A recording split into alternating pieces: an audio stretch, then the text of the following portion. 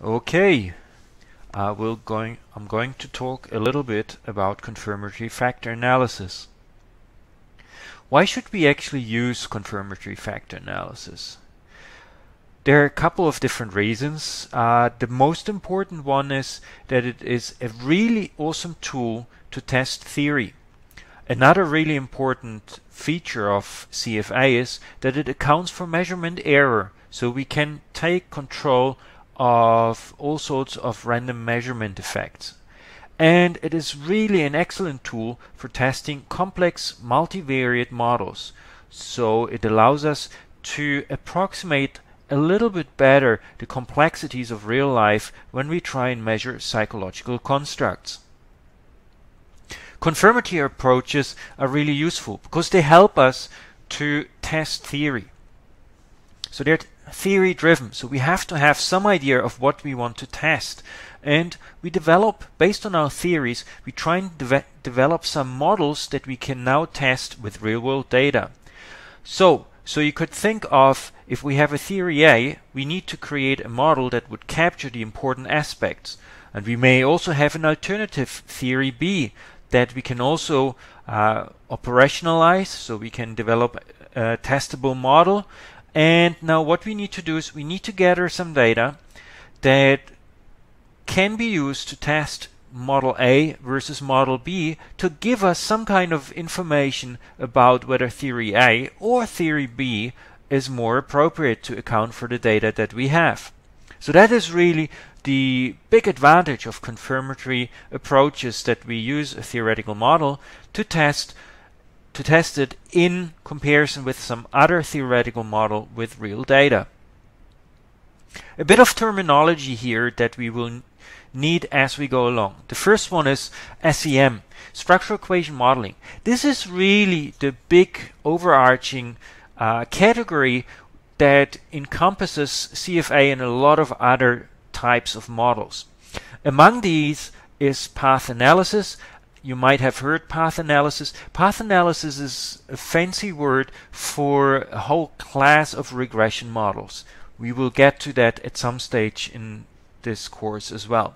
Then we have confirmatory factor analysis, and we will learn a lot about these in the next couple of um, videos. And hopefully we will get to what is called a multi-group confirmatory factor analysis because this is really where the power of CFA lies because we can compare different models from different groups and see how well they actually fit to the data. And then you might come across something called MACS, which is called Means and Covariance Structure Analysis. That's an older term that describes essentially a multi-group confirmatory factor analysis model that allows you to also model the means and the covariances between items and so it kind of combines ANOVA with factor analysis. So if we want to draw a structural equation model, so a confirmatory factor model or any kind of other model, we need to tell the reader or we need to visualize it in, in some way that others understand what we're using. So if we observe a variable, right, so we measure something directly, we typically uh, put it into a square like this. If we infer a latent variable through, for example, a number of observed variables, we typically put it into a little oval or circle. An arrow with just one uh, uh, basically an arrow basically tells us that there's some direction there. So there's some kind of causal link between one variable and another. If we have a double-headed arrow like this, it basically means that two or more concept or two concepts are correlated with each other. And we may also have a short arrow like this, which indicates that there is something else a residual or an error term, so something that is also influencing a variable, but we have not measured it. So how to put all of these together? A classic confirmatory factor analysis model would look something like this.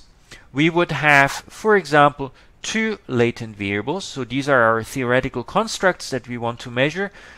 We don't observe them directly, so that's why they are in these kind of ovals. So these are latent factors and they may correlated, they may be correlated with each other. So we may have factor correlations. Hence we have a double-headed arrow here. We don't measure we don't measure them directly, so we have to infer them. That's why we have a number of observed indicators that are thought to be caused by these latent variables. So we have item 1 to 4, our observed items, and they are causally linked to latent factor 1. And then we have item 5, 6, and 7. They are causally linked, or we assume that they, the expression, the responses to these items are caused by an underlying factor 2. And then we have, of, of course, also some error. So we have an error component. So any kind of variance in item 1 that is not due to our latent variable here is basically an error because it is not caused by the latent variable. So it's some other uh, concept that might be measured uh, in item 1 that is not due to our model. And we also have the intercepts, the baselines. These are typically uh, shown in squares or diagonals diamonds like this. So this is a traditional confirmatory factor model.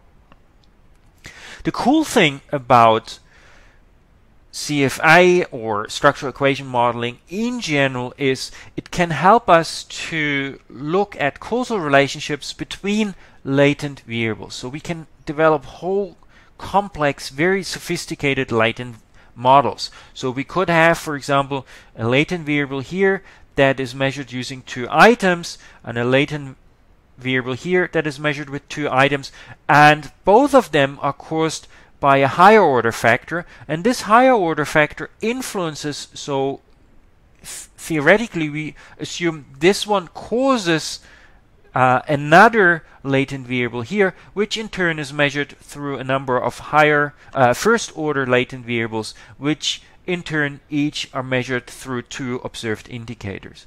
So what we could do is we could break, break down any kind of relationships into what is called a measurement model.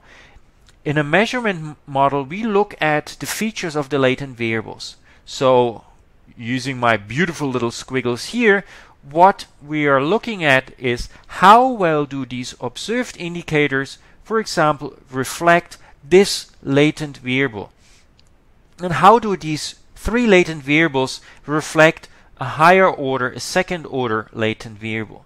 And we do the same thing on this side and we essentially test how well our measures are working.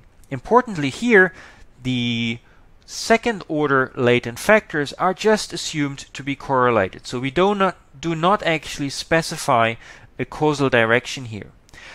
In the second step then we can test a structural model and here we have our measurement model worked out and now we're testing what is the causal direction between for example these two latent variables. So this is the cool thing about structural equation models in general. They allow us to test very complex model with real world data.